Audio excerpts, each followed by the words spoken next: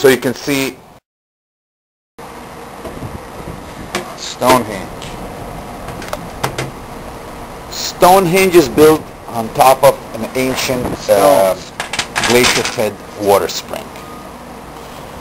And I'm working on a very detailed mm, video uh, to show you in a day or so. But right now I'm going to release this preliminary video so you can see how my thinking firsthand the physical mechanics of this um, utility device which is called Stonehenge. Uh,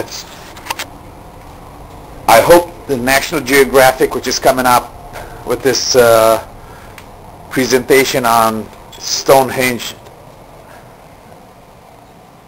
uh, um, uh, basically unhinged um, uh, they figured out that this was not only a burial ground, which that happened every once in a while after each phase of it, uh, but this was a trading post and basically it was based on water. It was not so easy to bring water from uh, River Avon all the way up there. On the other hand, water fizzing off the ground would have been a waste if they let it go through those channels all the way back to the river without being used. So they built series of tanks and later on they built an avenue with the two gutters on both sides so the water to run all the way to the river.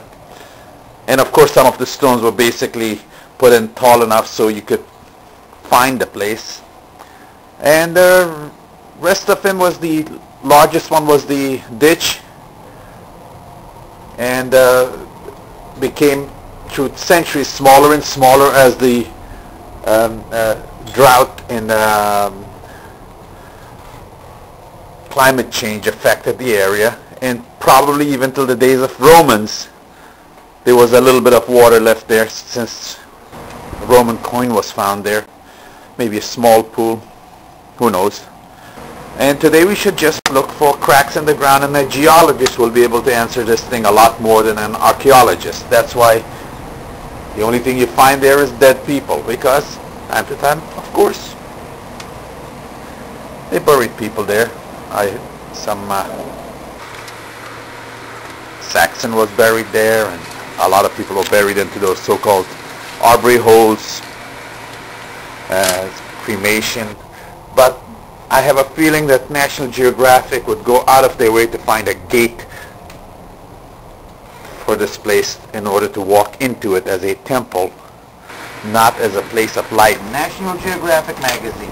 Or just learn. simply watch and learn, you guys. It's like your above ground swimming pool. Thank the you. Keystone.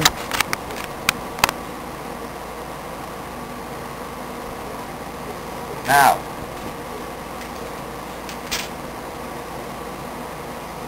need wood.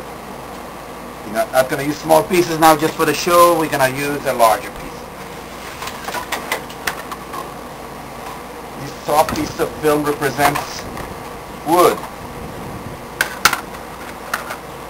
That's another one we throw in here, or maybe we throw this one in here. Boom. Watching? Good.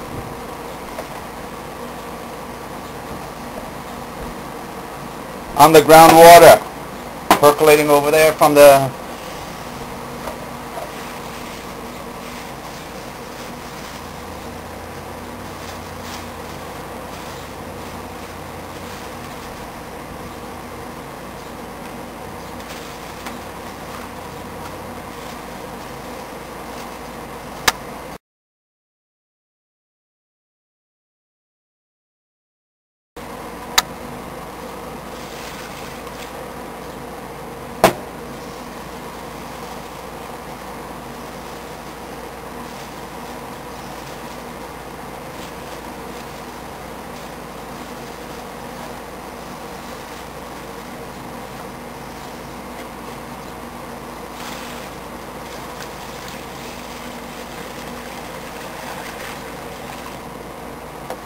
Haven't seen a swimming pool?